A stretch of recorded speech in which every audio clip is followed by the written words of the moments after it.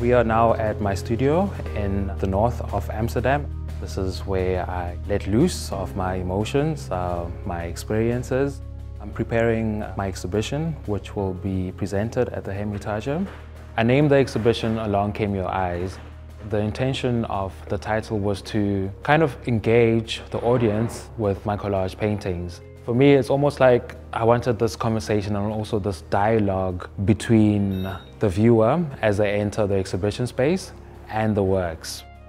The work that I create is primarily inspired by the experiences that I had when I was growing up in South Africa, especially the social happenings. There was a point when a lot of families found solace in their households, and in my understanding, uh, people were trying to stay away from trouble, the struggle that was presented to them by the politics of that time.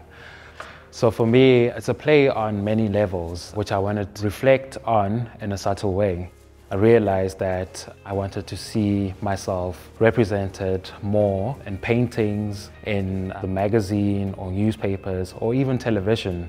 So that created some sort of driving force for me to start creating works that reflect on the experiences of people of color. In most of these works, they start off in the household and then they later on go onto a journey, a journey that exists outside the interior space.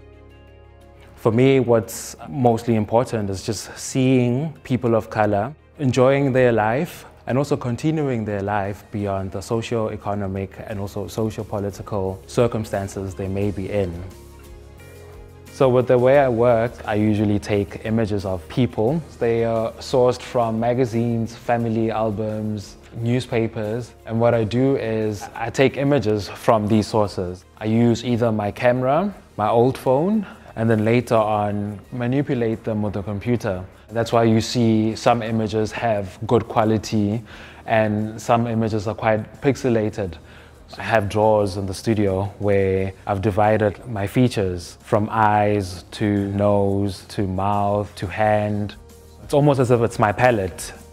I do a lot of line drawing and also ink drawing, but I do this simultaneously on the canvas. With a sense of urgency and sometimes with a sense of cautiousness. That's what you will kind of see when you're looking at the paintings, a form of vibration, a form of um, fluidity.